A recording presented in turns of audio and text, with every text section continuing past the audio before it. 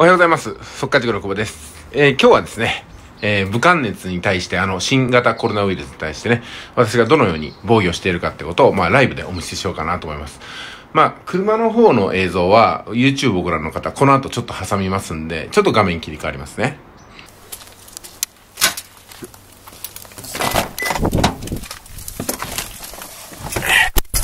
まあ、車の中には、まあ、マスクがあってですね、で、えー、消毒液もあります。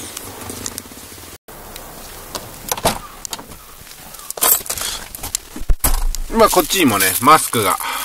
絶対あるわけですね。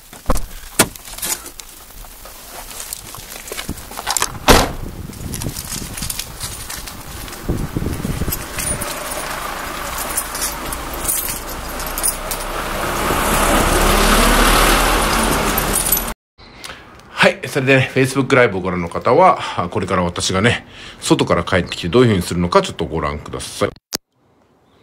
これ玄関ですね。ここ入ってきて、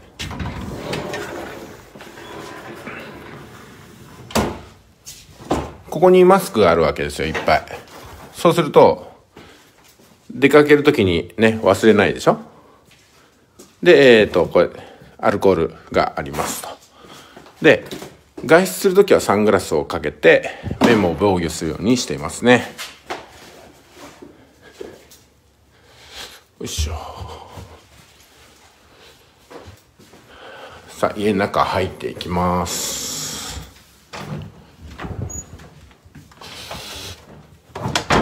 で中に入るとあの大和くんのベッドの横にアルコール。でこちらにもまあアルコールがあるわけなんですよね。まあ、こんな形で外に帰ってきてから、まあ、アルコールが結構あったりしますしね。これこんなにたくさんあまりないですよ。他の部屋にも一部屋一個以上アルコールがあるんですよ。で、これは別に武漢熱が流行ったからじゃなくて普段からこうなんですよね。で、外から帰ってきたら外用のこのウィンドブレーカーがありますよね。こちらを着替えて、で、室内用のこういう風なね、羽織に変わります。まあ、ですんで、すいません。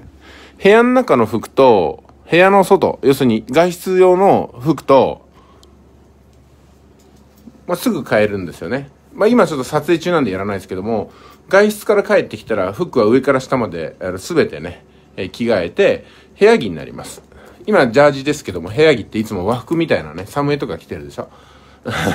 で、えー、と、あとこのウィンドブレーカーじゃない、髪か。髪の毛も洗ったり、顔も洗ったりするわけなんですよね。それ、外から帰ってきたら、手洗いの他にそこまでするわけなんですよ。これ別に武漢熱が流行ってるからじゃなくて、普段からそうしてるわけなんですよね。